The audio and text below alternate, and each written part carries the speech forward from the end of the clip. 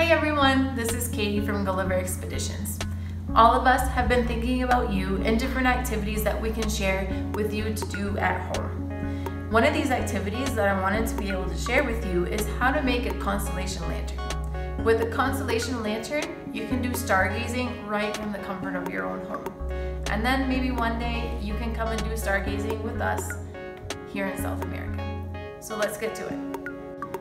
So for this project, you are going to need an aluminum can. I have here an empty tomato sauce can. You can also use corn, beans, peas, anything that as long as it's aluminum will be fine. Just make sure you wash it out and dry it out well. Then a permanent marker so that we can write our constellations on the can and a thick nail, a flashlight, and a hammer in order to make the holes for our constellation.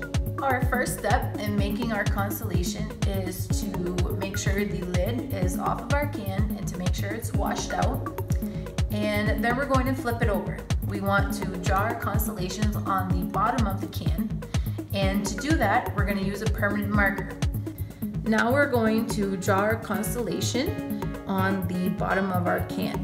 Now, it's super important for you guys to remember that here at Gulliver, we are located in the Southern Hemisphere and you may be located in the Northern Hemisphere. That means there might be constellations that you will not be able to see. And the good thing about this is here I've drawn the Ursa Major, also known as the Big Dipper, which is a constellation that actually we can both see during certain times of the year in both northern and southern hemispheres. So this will be a fun activity for your kids to be able to do so that in the backyard or on the roof or on the patio, you guys can look for the same constellation that we're working on right now. Step two, we're going to put water in the can. And we're going to fill the can halfway or a little bit more. And that should do it. Step three, we're gonna put our can filled with water in the freezer either overnight or for a couple of hours just until the ice is finally formed. Now that I've taken my can out of the freezer, you can see that it's really well frozen inside. The ice is very solid. And I have my constellation, my stars right here, and I'm ready to make the holes. So I wanna make sure that I have a sturdy space, table, counter, and maybe something to protect the counter. And what I'm going to do is take our nail and the hammer and I'm gonna put it right here on top of the hole and I'm going to hammer the nail into it to make sure I make a nice round